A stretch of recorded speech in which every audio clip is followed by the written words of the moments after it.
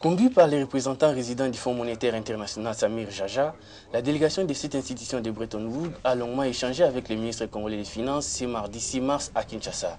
Des questions liées à la gestion des finances publiques ont fait l'objet de cet état-tête. Il était question au cours de ces échanges de présenter au ministre les conclusions de notre mission qui avait pour objectif d'évaluer le système de mise en place de la fonction macro-budgétaire en République démocratique du Congo et notamment pour appuyer la gestion des ressources naturelles. Faisant d'une coup de pierre, le chef de mission des FMI a exprimé le vœu de son institution quant au total rétablissement de l'argent congolais.